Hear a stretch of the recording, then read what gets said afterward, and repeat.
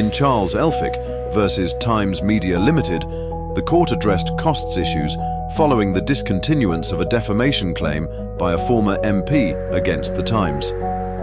The key issues were whether to depart from the usual costs order on discontinuance and how to address alleged misconduct, including the Times' failure to preserve evidence before discontinuance and, after discontinuance, the misuse of witness statements in publications and social media, misrepresenting their content and breaching Rule 32.12.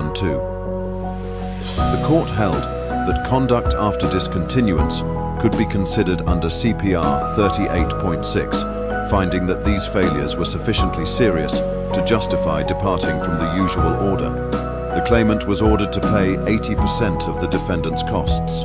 Quote, there is nothing in the rule to imply that conduct after discontinuance cannot be relevant, and the Brookes decision does not require, but merely envisages that, usually, a change of circumstances of that sort. Neither a change of circumstances nor a causal linkage are mandated by the rule or the authority, even if those would be the norm. And Mr. Elphicke's express position was that this case is very far from the norm, involving as it does misuse of statement for collateral purposes and, he says, other matters making this not a usual case.